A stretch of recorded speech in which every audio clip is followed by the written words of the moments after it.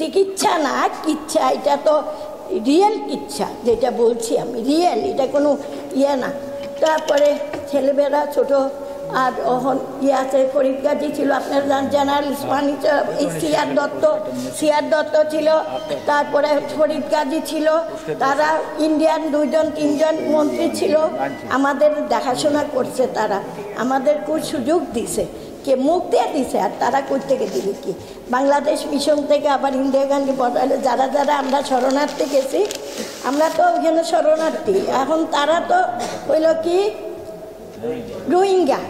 একই কথা, তারা রোহিঙ্গা, আমরা শরণার্থী হ্যাঁ।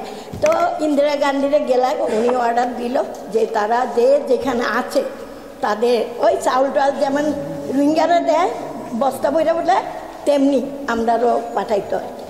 তো যাও এত বড় করছে যে কইরা আজকে আমাদের বাংলাদেশ স্বাধীনের জন্য যিনি আজকে ডাক দিয়েছিল হাজার বছরের শ্রেষ্ঠ বাঙালি বঙ্গবন্ধু শেখ মুজিবুর রহমান।